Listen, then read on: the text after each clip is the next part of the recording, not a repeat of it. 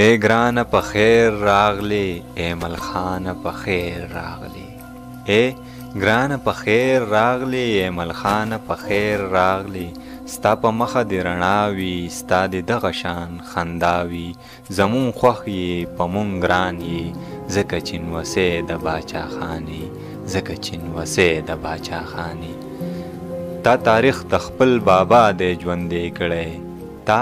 تاریخ د خپل بابا دی ژوندی کړی تا تاریخ د پښتونخوا دی ژوندی کړی د پښتون په هر یو در یې ګرځېدلی نه یریږي زړور یې ګرځېدلی ته د بابا په فلسفه یې ته د باچا په فلسفه یې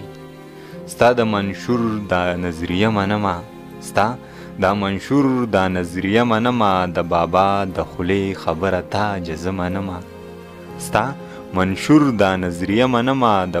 بابا د خولې خبره تا جزه منمه مونږ در باندې ویاړ کو قدردانه په خیر راغلی مونږ درباندې ویاړ کوو قدردانه په خیر راغلی ای ګرانه ای ملخانه په خیر راغلی ای ګرانه ای ملخانه په خیر راغلی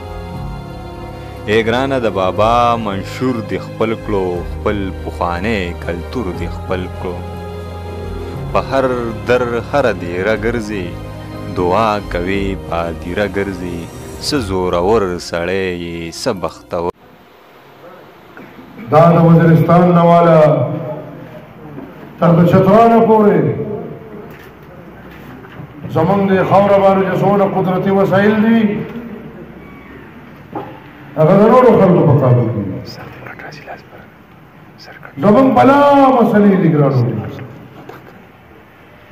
قامي دا مسلې موږ د دشمن جوړې کړې دي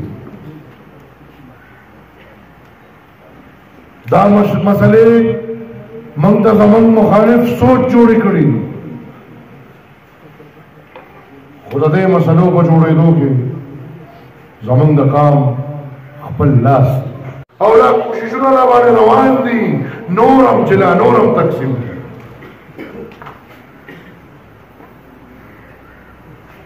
او ګران ورو د اتفاق سره دویمه خبره بیداری